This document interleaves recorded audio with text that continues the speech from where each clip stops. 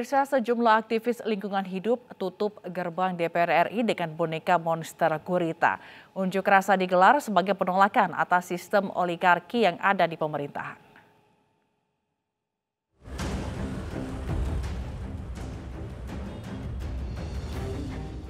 Boneka monster gurita raksasa ini dipamerkan para aktivis Greenpeace saat menggelar aksi unjuk rasa di depan gedung DPR RI Senayan, Jakarta Pusat.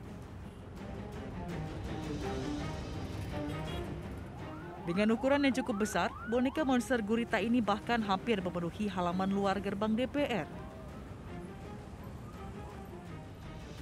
Para pengunjuk rasa bahkan mencoba menutup gerbang utama DPR dengan monster gurita ini.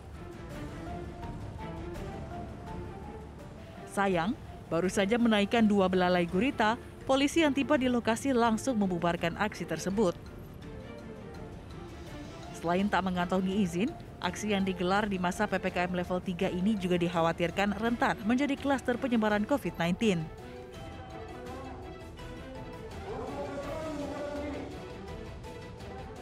Dalam aksinya, para aktivis Greenpeace menolak sistem oligarki di tubuh pemerintahan yang saat ini masih kental terasa, di mana kekuasaannya dipegang oleh elit tertentu.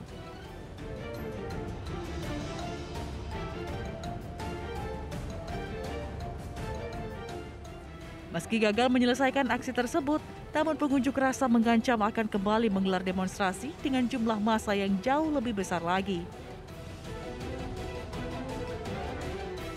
Dari Jakarta, Rani Sanjaya, Ainis melaporkan.